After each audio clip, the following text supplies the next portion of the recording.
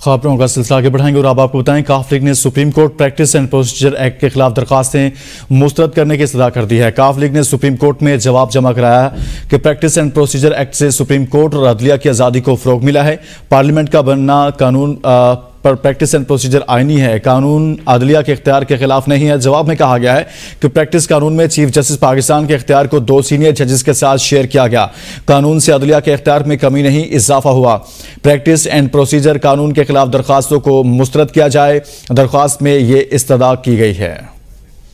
इस खबर से मुतलिक आपको आगाह कर रहे हैं कि काफ लीग की जानब से supreme court practice and procedure act के खिलाफ जो दरखास्तें दी गई हैं, उनको खारिज करने के हवाले से इस्तः की गई है। काफ लीग ने इस हवाले से अदालत से रजू किया है। काफ लीग ने supreme court practice practice and procedure act के खिलाफ दरखास्तें मुस्तरद करने की इस्तः कर दी है। काफ लीग ने सुप्रीम कोर्ट में जवाब जमा कराया कि प्रैक्टिस एंड प्रोसीजर एक्ट से सुप्रीम कोर्ट और अदलिया की आज़ादी को फरोग मिला है।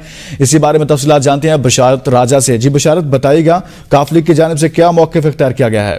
जी, आज सुप्रीम कोर्ट में काफ ने तहरीर जवाब जमा करवाया काफ league supreme court practice procedure act के खिलाफ दरख्वास्तें मुस्तरद करने की सलाह दी।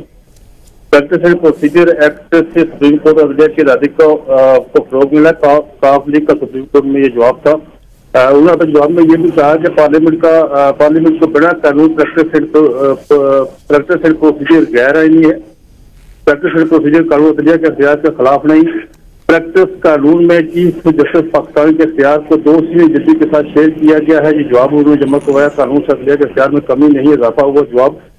प्रैक्टिस एंड प्रोसीजर कानून के खिलाफ दरख्वास्तों को मुस्तरद किया जाए। जी।